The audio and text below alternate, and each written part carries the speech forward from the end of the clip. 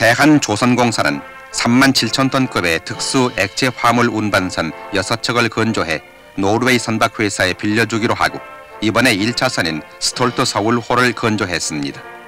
그리고 2차선은 오는 5월에 나머지 4척도 내년 5월까지 모두 건조할 계획입니다.